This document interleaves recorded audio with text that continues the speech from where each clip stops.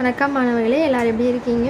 இப்போ நம்ம இந்த வீடியோவில் என்ன பார்க்க போகிறோன்னா லெவன்த்து ஸ்டாண்டர்ட் ஃபிசிக்ஸில் வால்யூம் டூவில் இருக்கிற முக்கியமான கொஸ்டின்ஸ் தான் பார்க்க போகிறோம் நம்ம ஏற்கனவே வால்யூம் ஒன்றில் இருக்க two mark three mark five mark question பார்த்துட்டோம். அதை பார்க்கலனா நம்ம சேனலில் இருக்கும்போது பார்த்துக்கோங்க. இப்போ நம்ம வால்யூம் டூவில் இருக்கிற two mark three mark five mark கொஸ்டின்ஸ்லாம் பார்க்கலாம்.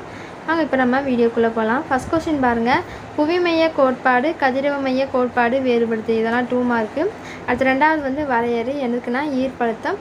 மூணாவது வந்து ஈர்ப்பழுத்த ஆற்றல் எப்போதும் எதிர்குறி பெற்றிருப்பதேன். அடுத்த நாலாவது கொஸ்டின் வந்து எடையின்மை என்றால் என்ன? அடுத்த அஞ்சாவது வந்து விடுபடு வேகம் என்றால் என்ன? அதனை பாதிக்கும் காரணிகள் யாவை? அடுத்த ஆறாவது கொஸ்டின் நீச்சித்தன்மை நீச்சியற்ற தன்மை வேறுபடுத்து. அடுத்த ஏழாவது கொஸ்டின் வந்து தகைவு வரையறு. அடுத்த எட்டாவது கொஸ்டின் வந்து திரிபு வரையறு. அடுத்த ஒன்பதாவது கொஸ்டின் பாய்சன் விகிதம் என்றால் என்ன? அதற்காட்ட அதற்கான சமன்பாட்டை எழுதுக. பத்தாவது கொஸ்டின் வந்து மீச்சியலோட பயன்பாடுகளை எழுது. பதினோராவது கொஸ்டின் வந்து வரிச்சீர் ஓட்டம் என்றால் என்ன? அடுத்து பன்னெண்டாவது கொஸ்டின் வந்து சுழற்சி ஓட்டம் பற்றி விளக்கு. பதிமூணாவது கொஸ்டின் வந்து முற்று திசை வேகம் வரையறு. அடுத்து பதினாலாவது கொஸ்டின் வந்து சேர்க்கோணம் வரையறு. பதி அஞ்சாவது கொஸ்டின் வந்து ரெனால்டியன் வரையறு. பதி ஆறாவது கொஸ்டின் வந்து பரப்பு இழுவிசை என்றால் என்ன? அது பதினேழாவது கொஸ்டின் வந்து பரப்பு இழுவிசையோட பயன்பாடுகளை எழுது. அது பதினெட்டாவது கொஸ்டின் வந்து நீரோட முரண்பட்ட விரிவு என்றால் என்ன? அது பத்தொன்பதாவது கொஸ்டின் வெப்ப அளவீட்டியல் என்றால் என்ன? அடுத்து இருபதாவது வந்து நியூட்டனோட குளிர்வு விதியை எழுது. இருபத்தி ஓராவது கொஸ்டின் வந்து ஸ்டீபன் போல்ஸ்மேன் விதியை எழுது. இருபத்தி ரெண்டாவது கொஸ்டின் வந்து வியன் இடப்பெயர்ச்சி விதியை எழுது.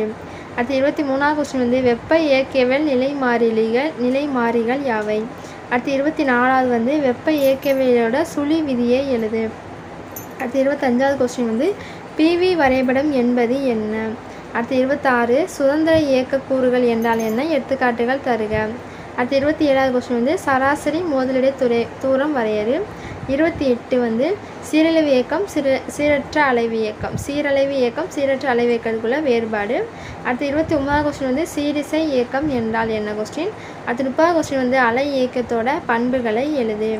அடுத்து முப்பத்தி ஒன்று வந்து இயந்திர அலைகள் என்றால் என்ன? எடுத்துக்காட்டுகள் தருக. அடுத்து முப்பத்தி ரெண்டாவது கொஸ்டின் வந்து இயந்திரவில் அல்லாத அலைகள் என்பவையாவே எடுத்துக்காட்டுகள் தருக. அடுத்து முப்பத்தி மூணாவது கொஸ்டின் வந்து விம்மல் மற்றும் விம்மல் அதிர்வெண் வரையறு. அடுத்து முப்பத்தி நாலாவது கொஸ்டின் வந்து ஒளியோட உறப்பு வரையறு. முப்பத்தி அஞ்சாவது கொஸ்டின் வந்து ஒளியோட செறிவு வரையறு. அடுத்து முப்பத்தி ஆறாவது கொஸ்டின் வந்து மேற்சுரங்கங்கள் என்றால் என்ன? மொத்தம் முப்பத்தாறு டூ மார்க் கொஸ்டின் பார்த்துருக்கோம்.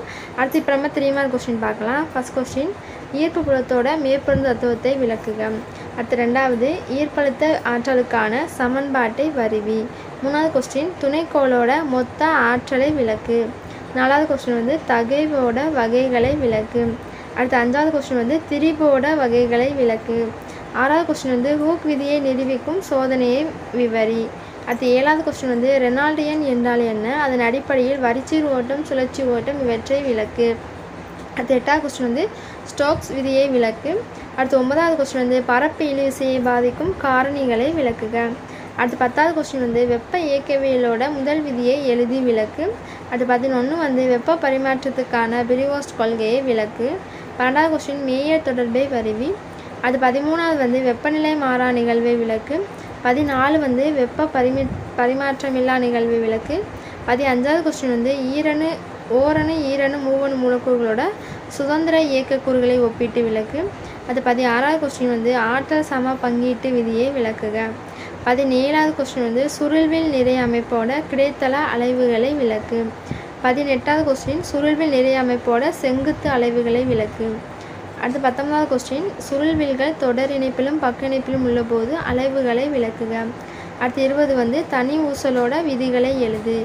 இருபத்தி ஓராவது கொஸ்டின் நெட்டலைகள் குறுக்கலைகள் ஒப்பீடு. அடுத்து இருபத்தி ரெண்டாவது கொஸ்டின் வந்து காற்றில் வந்து ஒளியின் திசைவகத்துக்கான நியூட்டனோட சமன்பாட்டை வருவி இருபத்தி மூணாவது கொஸ்டின் வந்து நியூட்டன் சமன்பாட்டின் மீது லாப்லாஸ் ஏற்படுத்திய திருத்தத்தை விளக்கு. இருபத்தி நாலாவது கொஸ்டின் வந்து சமதள முன்னேறு அலையோட பண்புகளை எழுது.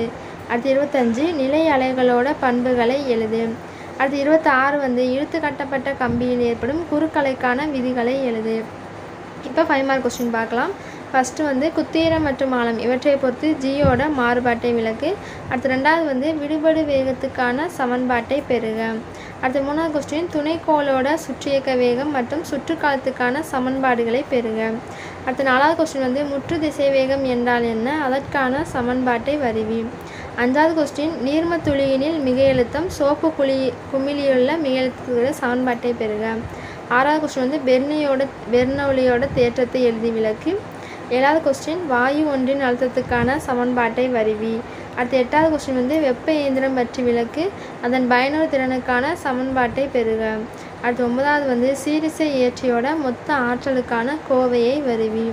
அடுத்து பத்தாவது கொஸ்டின் வந்து தனி ஊசலோட அலைவுகள் சீரிசை இயக்கம் என்பதை விளக்கி அலைவு நேரத்துக்கான சமன்பாட்டை வருவி. அடுத்து பதினோராவது கொஸ்டின் வந்து சீரிசை இயக்கத்தோட இடப்பெயர்ச்சி திசை வேக முடுக்கம் இவற்றோட சமன்பாட்டை வருவி அப்புறம் தொடர்புகளை வந்து வரைபடம் மூலம் குறிப்பிடும். பன்னெண்டாவது கொஸ்டின் வந்து காற்று தம்ப அதிர்வுகளை மூடிய ஆர்வங்களாய் திறந்த ஆர்வங்களாய் பயன்படுத்தி விளக்கு. மொத்தம் பன்னெண்டு ஃபைவ் மார்க் கொஸ்டின்ஸ் வால்யூம் ஒன்று பார்த்துட்டோம் வால்யூம் டூ பார்த்துட்டோம். இரண்டு கொஸ்டின் நல்லா தரா படிச்சுக்கோங்க கண்டிப்பாக எக்ஸாமுக்கு வந்து இரண்டு கொஸ்டின்ஸ் வரலாம். தேங்க்யூ